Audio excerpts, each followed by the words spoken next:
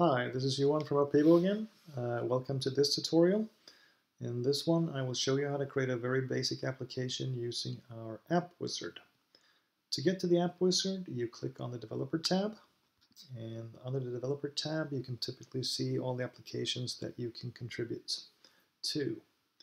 To create a new one you click over here, Create App, Wizard App. This starts the wizard uh, here we just welcome you to the wizard and you can show the video that I'm just recording right here. And uh, so you can skip ahead to the next step and here you get to define the information model of your application. This is where we start when defining applications in our platform as the information model is pretty much the foundation that everything else in your application builds upon. You can choose to pick models from our uh, template library. You can import models from other applications you've built previously, or you can create custom models on the fly here. In this uh, tutorial, I was thinking we'll just create a very basic uh, application for keeping track of our contacts. So we'll create a very simple data model for uh, contact. Uh, we'll call the model contact, and uh, we'll enter the attributes of this model. The attributes are properties of, of the model that you uh, want to keep. In our case, a contact has a name, uh, it has a phone number, and it has an email address. And we could keep on adding more things here, but uh, this is enough to demonstrate the concept, so we'll, we'll leave it at that. I'll click OK, and we'll see we have one model over here now. You could add any number of models here, uh, but as we want to keep this simple, we'll, we'll uh, be satisfied with this one. I will click Next.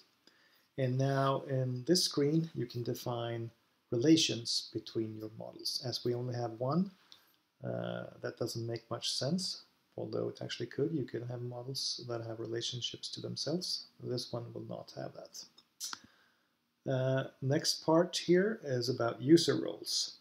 You could have, for instance, one type of user that can create contacts and another type of user that can only read contacts, as in looking at them. Uh, we'll keep this simple, so we'll just have one administrator role that can both create, read, update, and delete contacts. So we'll skip to the next step.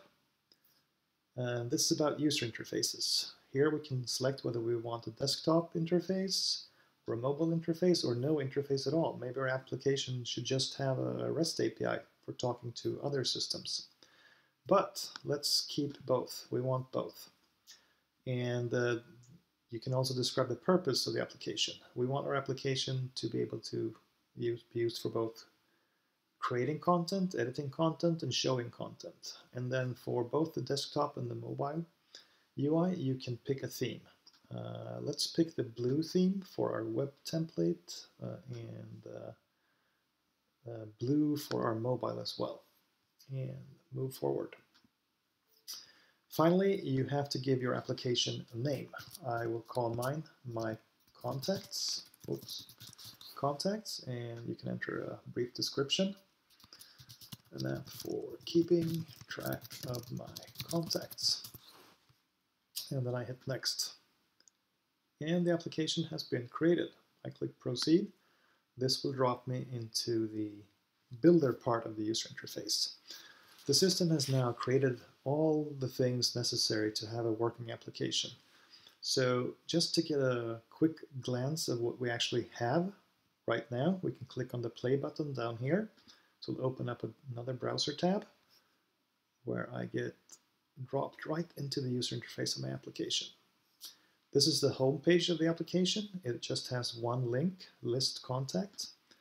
This will take me to a data grid where I can see a list of all the contacts in my system. You, we can see here the attributes that we defined on the contact model earlier, name, phone, and email. I can click on this button to create a new contact, and it lets me enter data into a form. Uh, let's say we're adding a contact called Joe. Joe's phone number is 555-123-1234. And his email is joe at appivo.com. Okay. And we're taken back to the list screen and we can see that we now have one contact. I can right click to edit the contact. And let's uh, say that, oh, it's really Carl. And we've updated it. We might also say that we, we don't want to keep this contact any longer and we can right click and say delete and it's gone. So that's essentially all of my application. It's, as I said, it's very, very simple, but this is, you know, a basic CRUD application. We can now make changes to this. So if we close this tab and go back, we can see what uh, is actually in the builder. If we click here, we can see the models. We have our contact model, just as we defined it in the wizard, name, phone number, and email. And, uh, and then we have the user interface. we can see that we have the application home screen, the create contact form, the list contacts, and those are the one we're interested in right now. If I click on the form here, create contact view, we can see this is actually pretty much exactly what we saw when we ran the application. Uh, a very interesting part to uh, be aware of here is that these fields, these are three text fields, and if we click on one, we can see here they have a name, text field 0. Uh, this one uh, is connected to a form called contact form. And it's connected to an attribute called name. This is what is referred to as a data binding. If we go back here, we can see that here we have a tab called Forms. If I click on this, I can see the contact form is connected to the contact model.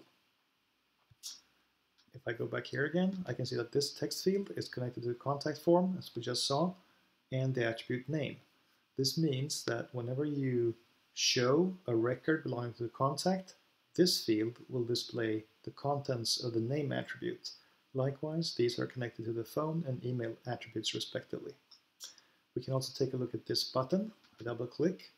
I see that this has a set of events and here we can see that there's a click event defined for this button. This is a uh, an event handler of the type quick action. It's essentially a macro which uh, for this particular button submits a form. Which form does it submit? It submits the contact form.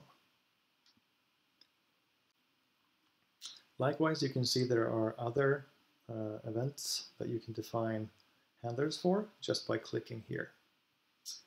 All right, let's go back. Uh, the builder also created an applic uh, sorry, uh, a mobile interface for us. This is just like the desktop one, but a mobile interface. This works exactly the same.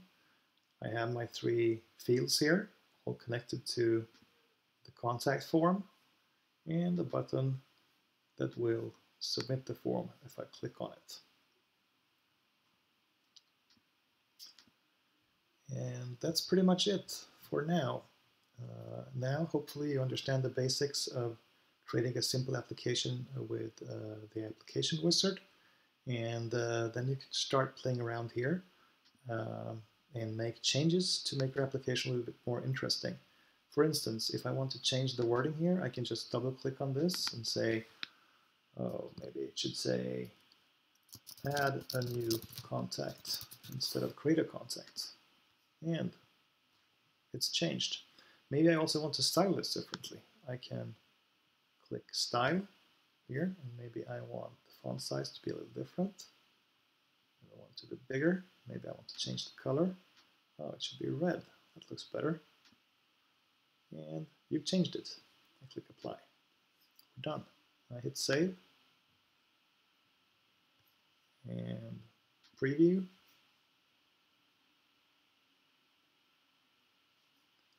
New contact. And we can see that our edits are in place. Okay, good luck creating applications with the App Wizard. Uh, hope to see you in another tutorial very soon. Bye-bye.